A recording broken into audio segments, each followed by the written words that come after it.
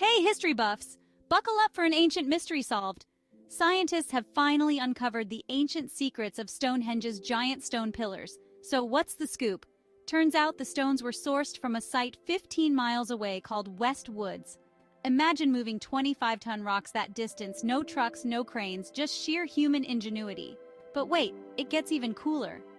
Research reveals these stones are a rare type of sandstone called sarsen, packed with microscopic quartz crystals.